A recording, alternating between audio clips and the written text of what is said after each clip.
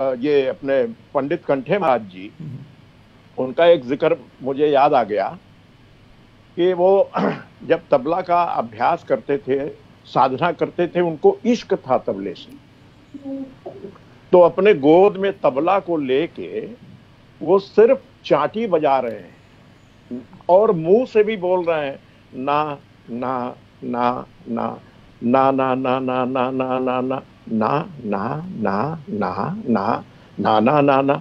अब मैं बहुत छोटा था उस समय। उस समय मेरी उम्र होगी चार पाँच साल। तो मुझे वो तबले का साउंड इतना अच्छा लगा उनके सामने ही मेरे नाना का घर था। तो मैं दौड़ के अपने माँ के पास गया और हमने कहा कि एक दुअन्नी हमको दे दीजिए। बोले क्या करना है? हमने कहा कि वो बाहर कुछ आया है खरीदना है। वो पीतल वाली दुवन्नी जो होती थी उस जमाने में। दो आना। दो आना। तो वो पीतल की पीतल की दुअन्नी ले जाके मैं उनके तबले पे रख के उनको प्रणाम किया। Really really? चार साल की उम्र अच्छा। वाह। हाँ।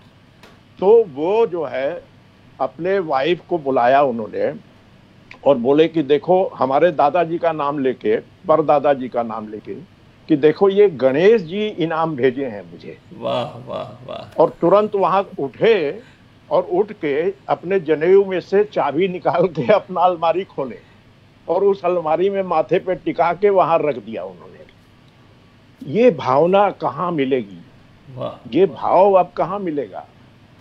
बुज़ुर्गों का सम्मान करना बुज़ुर्गों की बातों को याद रखना उनके लिए श्रद्धापूर्ण होना आज के युग में ये सब खत्म होता जा रहा है। लेकिन जो असलियत है वो असलियत हमेशा ही रहेगा सच्चाई हमेशा ही रहेगी।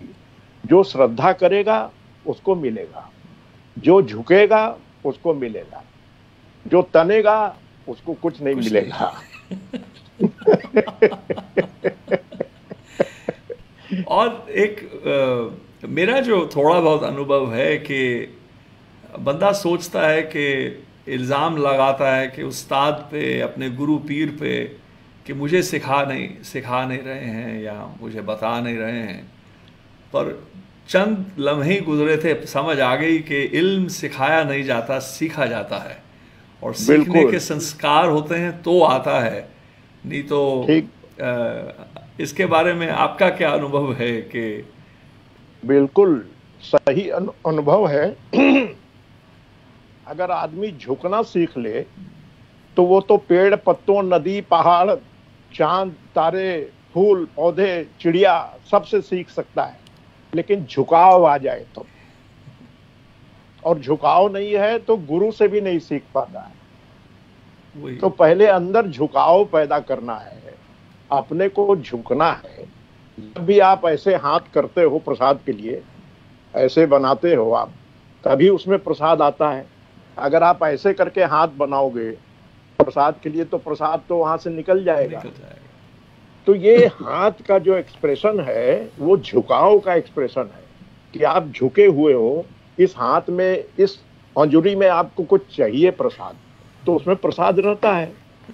तो अब हम लोग जाते हैं गुरुद्वारों में तो जो कड़ा प्रसाद मिलता है तो हम ऐसे ही लेते हैं। और हाथ धोते भी नहीं है खाते हैं उसको। वाह वाह। खाने के बाद हाथ नहीं धोते बहुत बहुत ही घंटों तक। तो ये जो है भावना ये होना चाहिए। तभी प्रसाद मिलेगा। ओशो से जो भी कहते थे लोग कि आशीर्वाद दीजिए तो बोले कि आशीर्वाद देने की चीज़ ही नहीं है। आशीर्वाद तो लेने की चीज़ है।